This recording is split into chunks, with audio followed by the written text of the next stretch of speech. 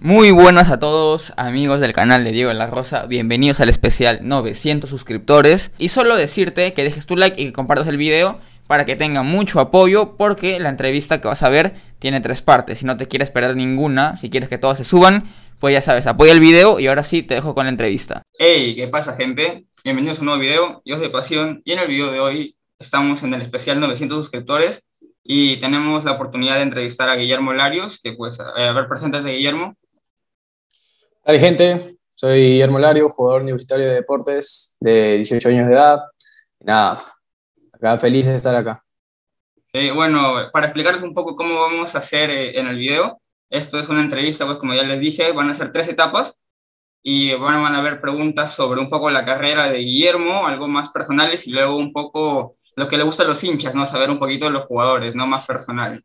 Así que bueno, vamos a ir con las preguntas, ya sin más preámbulo, acá ya las tengo pues guardadas, las he dividido. Esto lo, lo puse en mi Instagram, yo les dije que vayan que ahí estaba eh, esperando las preguntas, ¿no? Para, que, para el video, les dije que si quieren participar, pues que hagan las preguntas. Y bueno, la primera pregunta que tenemos es de dacosta.lp. Eh, dice, ¿quién fue tu padrino de debut? Mi padrino de debut. Sí. Bueno, por el tema este, este que hubo dentro del club interno, por el tema de la enfermedad esta de los contagios, eh, todavía como podrán notar, este, todavía sigo con pelo. Eh, y bueno, estamos esperando que pase todo este asunto que le baje y eh, viendo ahí, hay dos posibles que me van a cortar y nada, ahí vamos a ver quién es, quién es el que resulta ser mi padrino. ¿Nos podrías comentar quiénes pueden ser o, o eso te lo guardas para ti? Eh, o uno de los dos, menos, no uno de los dos. Eh, bueno, este, Enzo. Enzo, ¿en serio? sí, Oye, qué bueno, hermano. es un crack. ¿ah? Yo tengo un video reaccionando de él. Muy bien, ¿ah? o sea, te ganaste. Sí. Este, sí, ¿para qué? Otra pregunta es eh, Miguel Crisologo.20 pregunta por tus inicios. ¿Cómo fueron tus inicios en el fútbol, en tu carrera? Uf, eh, bueno, tendría que remontarme a cuando estaba por allá por Chimbote. Eh, la primera escuela, te comento que en sí iba a inscribirme a la escuela municipal no Chimbote, eh, contando un poco, este, pero mis padres no llegaron a inscribirme a tiempo. Me dijeron, este, sí, me dijeron, eh, prueba con natación, este, o básquet, otra cosa, y, yo decía, no, no, no quiero nada, ya, ya fue, ya, en esos cursos de verano, ¿no? Que hacía la municipalidad. Tú decías fútbol, tiene que ser. Ah, yo decía fútbol, o, no, nada. Y entonces, este, da la casualidad que mi amigo del colegio, este, eh, llegó a entrar. Y su profesor agarró y les dijo, este, pucha, traigan amigos que, que sepan jugar o cosas así. Bueno, y él me invita, pues, y este, pasan pruebas, tres días más o menos. Ese entonces tenía seis años y medio por ahí para siete. Ah, seis años y, ahí con el fútbol de, todas. Sí, sí, de todas. Y bueno, ya dije, ya, pues vamos, ¿no? Porque en fin, ¿no?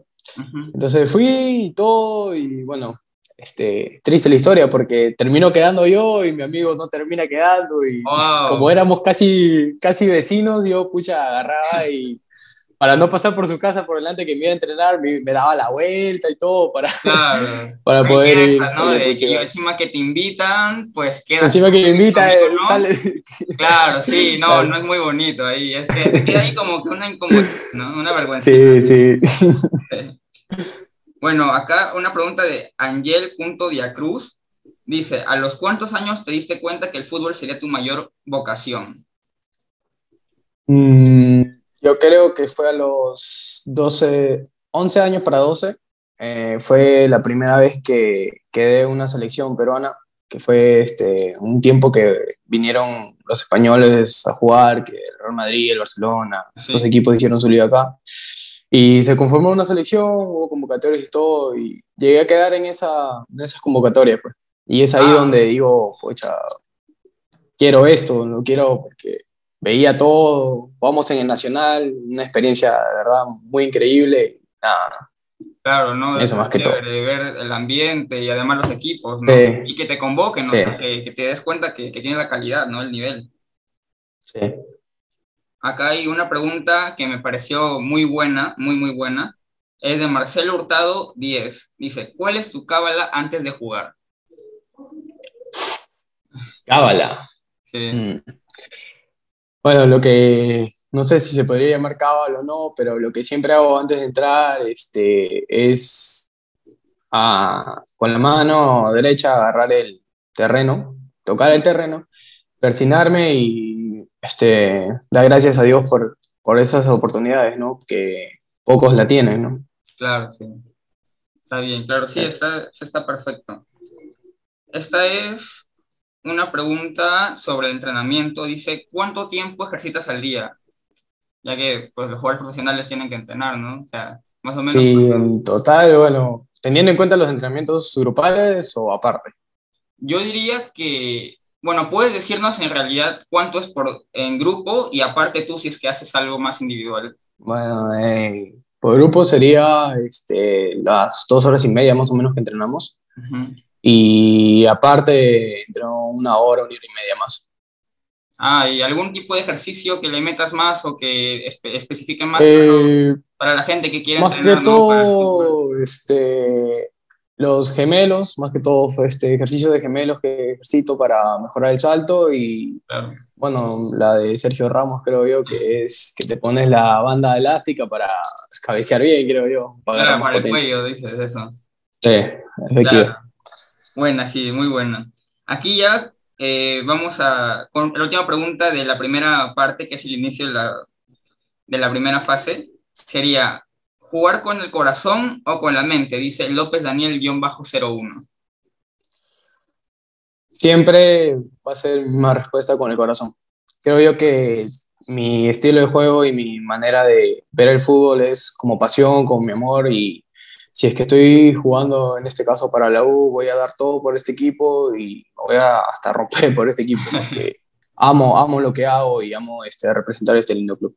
Claro, mucho se ve, por ejemplo, en el fútbol peruano, recién hemos visto pues los actos de vandalismo que se ha visto, ¿no? Que se han visto involucrados Mm. Agua y Cristal.